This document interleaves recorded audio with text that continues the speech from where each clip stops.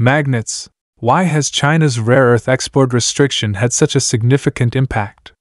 Why is the automotive industry so dependent on Chinese magnets?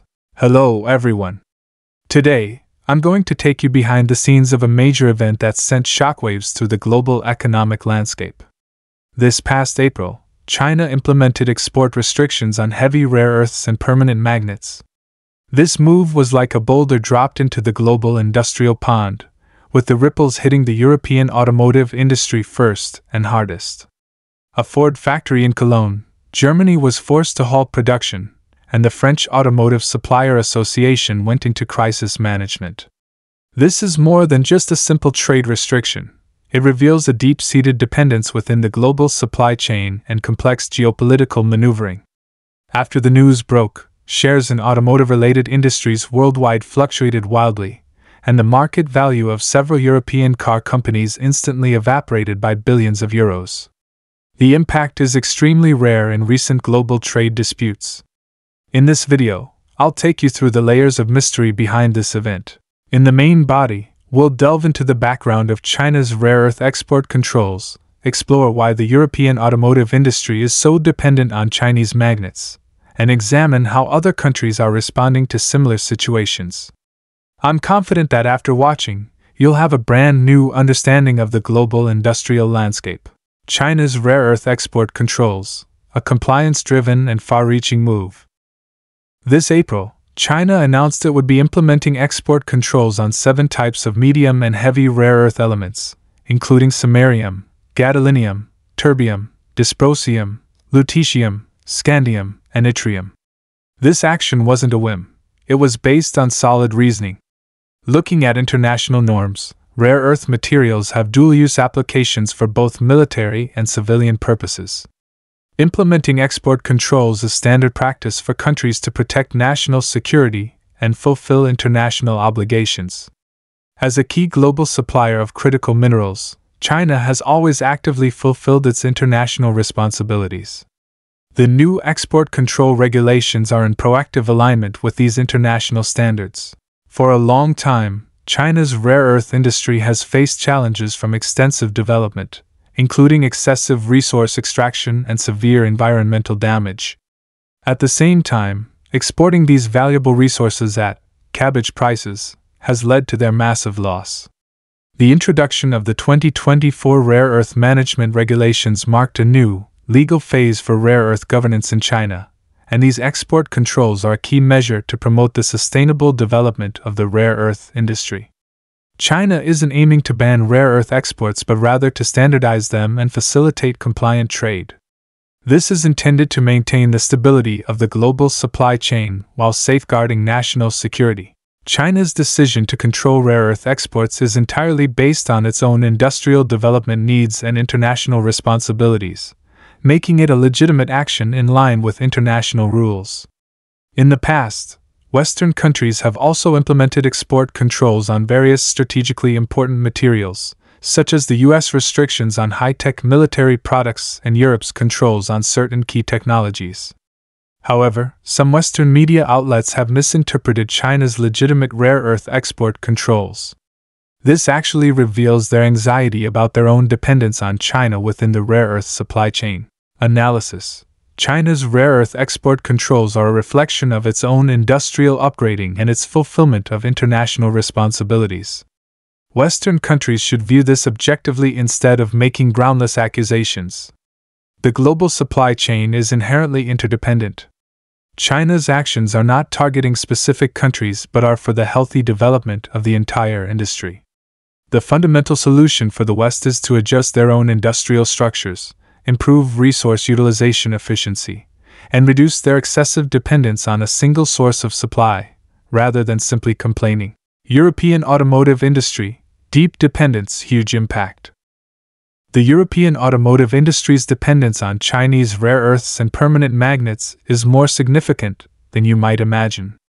China supplies about 99% of the 17 rare earth elements to the EU, and approximately 98% of its rare earth permanent magnets. In modern car manufacturing, especially for new energy vehicles, rare earth permanent magnets are widely used in critical components like electric motors and batteries. The Ford factory in Cologne, Germany, being forced to stop production due to a lack of sufficient rare earth permanent magnets, is not an isolated incident.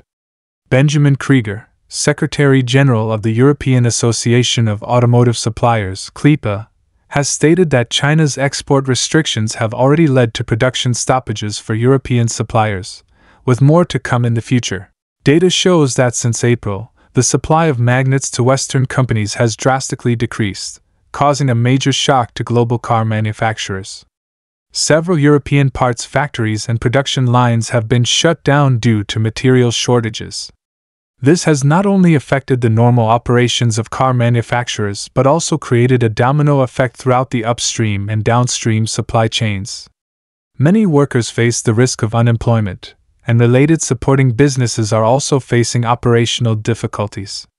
The European automotive industry has long been a global leader, but its excessive dependence on China for critical raw materials has been exposed in this event. Analysis while the European automotive industry benefited from China's rare earths, it overlooked supply chain risks. An over reliance on a single supplier makes the industry extremely vulnerable to supply fluctuations. European car manufacturers should use this opportunity to reevaluate their supply chain configurations, invest more in diversifying their raw material sources, and improve their technology to reduce their dependence on critical raw materials like rare earths. Otherwise, similar supply shocks will continue to cause significant damage to their industry in the future. Other countries' strategies, varied approaches, mixed results. The United States is also highly dependent on China for its rare earth supply. The US has only one rare earth mine and imports most of its rare earths from China. In response to China's rare earth export controls, the US government is trying to promote the development of its domestic rare earth mining and processing industry. It's also seeking more rare earth resources by signing mineral agreements with countries like Ukraine. However, these efforts are progressing slowly and are unlikely to reduce its dependence on China in the short term. Mark Smith, CEO of the American mineral extraction company Neo Performance Materials, has admitted that building an alternative supply chain takes time. Japan has responded to the rare earth supply issue by diversifying its supply channels and increasing resource recovery and recycling rates. Japanese companies are actively searching for rare earth resources globally while investing more in research and development for rare earth recycling technologies from used electronic products. After years of effort, Japan has reduced its dependence on Chinese rare earths to a certain extent. However, Due to the indispensability of rare earths in high end manufacturing, Japan still cannot completely escape its reliance on external rare earth supplies in some critical fields. Analysis Both the United States and Japan have made efforts to address the rare earth supply issue, but with different results. The U.S. strategy relies more on acquiring external resources and is progressing slowly, reflecting the difficulties in its industrial restructuring. Japan's focus on diversification and resource recycling is a good model. In the global competition for resources, countries should develop sensible resource strategies based on their own circumstances, improve their resource security capabilities, and strengthen technological innovation to reduce their dependence on key resources. Only then can they maintain industrial competitiveness in a complex international economic environment. This incident, where the Chinese magnet shortage impacted European car production lines shows that the global supply chain is highly interdependent.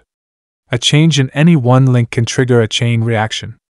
Although China's rare earth export controls have impacted the industries of some countries, these are reasonable actions based on China's own development and international responsibilities.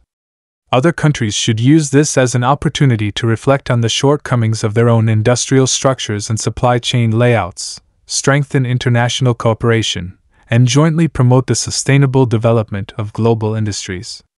I hope you will continue to pay attention to major events like this that affect the global economic landscape, and together we can witness the progress of global industries amidst change.